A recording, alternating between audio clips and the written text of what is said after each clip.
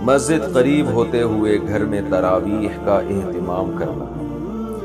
अगर मस्जिद के करीब हो, अगर मस्जिद करीब हो तो घर में तरावी पढ़ने का एहतमाम करना कैसा है? एजाज अंसारी इंडिया से देखिए, तरावी की जमात मस्जिद में लाजिम नहीं है। सुन्नत मुक्दा अलल किफ़ाया है कि पूरे महल्ले में एक जमात भी हो तो सबसे सुन्नत मुक्दा साबित हो जाती है। अलबत् तरावी पढ़ना सुन्नत मुक्दा है। यानी अगर आप जमात से नहीं भी पढ़ते तो इनफरादी तौर पर पढ़ें। बाकी आपने कहा मस्जिद करीब में है तो मस्जिद अगर करीब में है तो बेहतर तो यही है कि मस्जिद में तरावी पढ़ें क्योंकि उसका सवाब ज़्यादा है। लेकिन अगर कोई मस्जिद में नहीं पढ़ता, घर में भी जमात कर लेता है तो भी जायज़ है।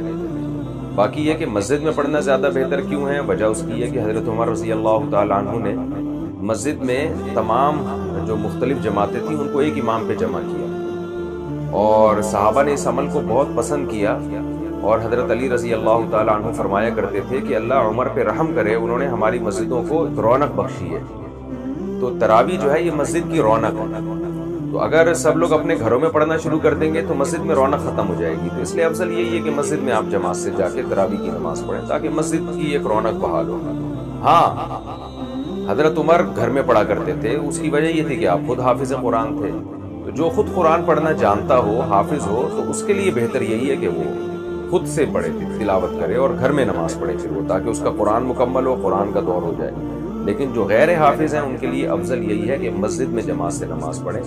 मस्जिद में नहीं पढ़ते, घर में किसी की पीछे नमाज़ पढ़ लेते हैं, तरावी की तो भी जायज़ अलबत्ता यहाँ एक बात खूब अच्छी तरह समझ लें। आजकल ये होने लगा है कि तरावी की जमात मुख्तलिफ़ जगहों पर कायम होती है तो फ़र्ज़ नमाज़ भी वहीं पढ़ रहे होते हैं। ये बिल्कुल ठीक नहीं है। करीब में अगर मस्जिद मौजूद है तो ईशा के चार फ़र्ज़ मस्जिद में पढ़ना वाजिब है।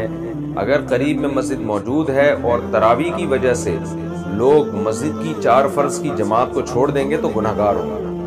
तो इसलिए मस्जिद की जमात फ़र्ज़ नमाज़ बहरहाल मस्जिद में पढ़ना वाजिब अगर करीब में कोई मस्जिद मौजूद है। ना तालिब तारीफ़ है ना तालिब मनसब। ना तालिब तारीफ़ है ना तालिब मनसब। ना तालिब दीनार है उलमाए देवबंद। इस्लाम के गमखार